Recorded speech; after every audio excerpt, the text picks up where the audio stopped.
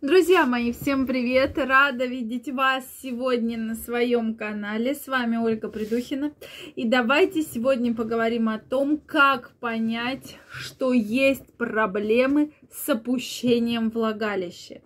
Вопрос, который задают многие женщины.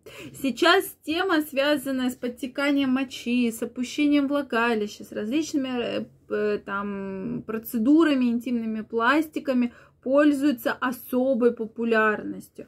И давайте сегодня обсудим, как же вы в домашних условиях можете понять, что да, с влагалищем что-то произошло не то, есть э, какие-то проблемы, и главное, что с этим делать. Друзья мои, я очень рада видеть каждого из вас сегодня на своем канале. Обязательно подписывайтесь на мой канал, делитесь вашим мнением, задавайте интересующие вас вопросы, и в следующих видео мы обязательно разберем самые часто встречающиеся и волнующие вас вопросы. Ну что, давайте разбираться. Действительно, проблема, связанная с опущением влагалища, ну, никто из женщин от этой проблемы, к большому моему сожалению, не застрахован. Да?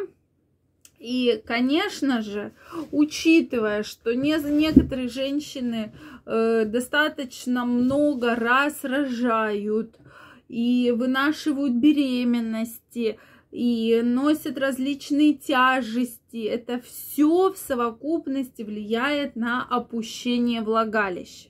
И, конечно же, многие э, все-таки женщины отмечают дискомфорт и приходят к гинекологу и говорят, слушайте, у меня что-то изменилось, у меня что-то опустилось, у меня какие-то неприятные ощущения, часто болезненные, сухослизистые беспокоит и так далее. То есть такой большой симптомокомплекс проблем, с которой приходит женщина. И мы уже начинаем постепенно-постепенно разбираться, с чем же еще это может быть связано. Так вот, как же самостоятельно определить? Ну, во-первых, вы можете почувствовать рукой, да, безусловно, что есть какие-то изменения. Дальше вас будет беспокоить подтекание мочи.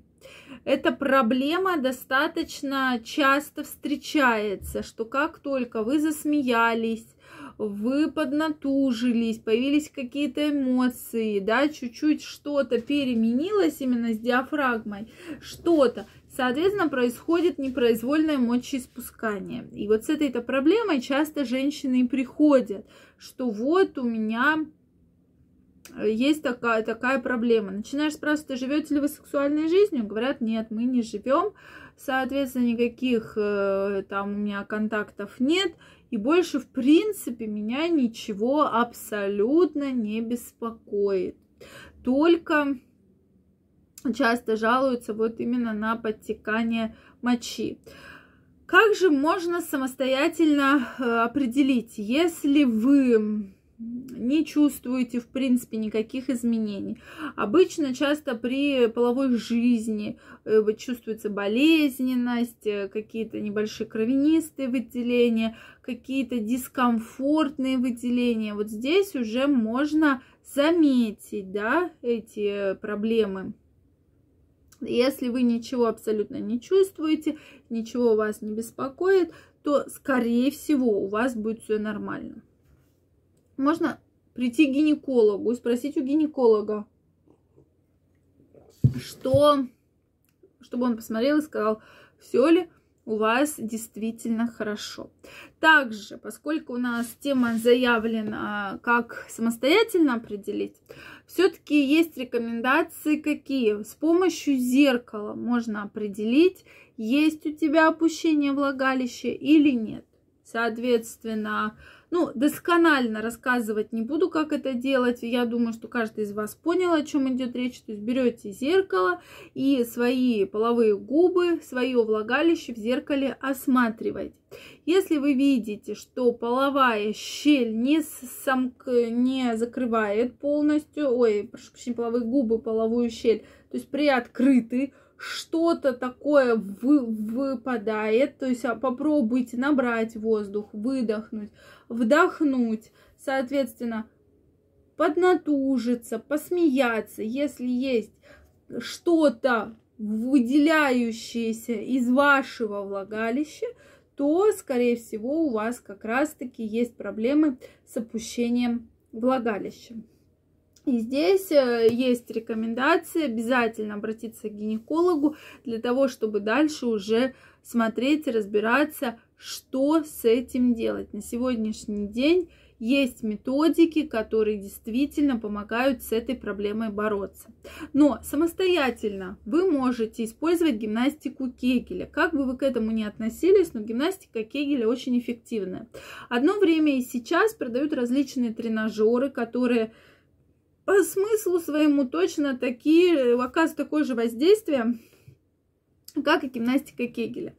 Только здесь вы самостоятельно сжимаете мышцы промежности, а при тренажерах вы, соответственно, влагалищем помещаете шарик или какой-то там предметик и, соответственно, держите. Но смысл тот же самый, что вы работаете мышцами промежности, то есть вы их тренируете.